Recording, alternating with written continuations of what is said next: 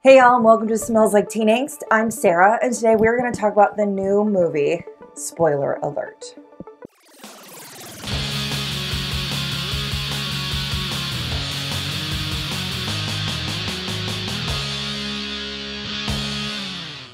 Spoiler Alert stars Jim Parsons and Ben Aldridge as Michael and Kit. The official synopsis of this movie reads a little something like this. The story of Michael Ausiello and Kit Cowan's relationship that takes a tragic turn when Cowan is diagnosed with terminal cancer. So, spoiler alert, this isn't a happy movie. Are you alright?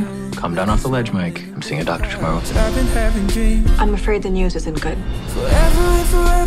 I think it would be really easy, and yet I do believe it would be a detriment to this film that if you were just to compare it to Bros, which is another lovely gay rom com that came out earlier this year.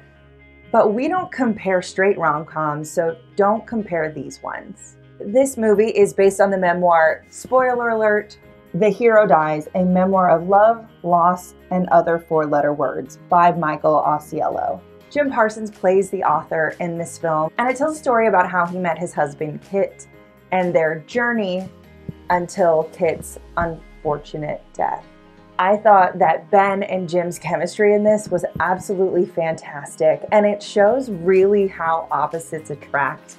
I loved these two characters, and I loved watching them go on this journey of their own personal self discovery while learning about each other and falling in love in New York City. I found Spoiler Alert to be as heartwarming and fun and lovable as it was heartbreaking. I seriously cried and stopped crying and tried to not cry more for the last 20 minutes of it, so just like be prepared. Jim Parsons is a multi Emmy winner, so I never am surprised when he does a fantastic job. That just is who he is. While I am casually familiar with Ben Aldridge, like I know that he did a stint on Reign, he's been in Fleabag and Pennyworth, but I haven't seen Reign in forever, and I don't watch the other two. So this was my real, like, real introduction to him as an actor. And he is phenomenal. Here's my door. Before we go in, just open the door. Okay. What is this, Michael? Oh, you don't want to. Oh my god, they're in here too. Oh, Papa. Jim Parsons and Ben Aldridge have fantastic chemistry. I loved seeing them together. They're so playful and open and fun, and I 100% believed them as a couple. I love how honest, open, and relatable that Michael and Kit's relationship is because watching them go from being rose colored glasses to moving in together into the imperfections that relationships are, into taking huge, wild steps trying to rekindle love together. I think a lot of us have been through that.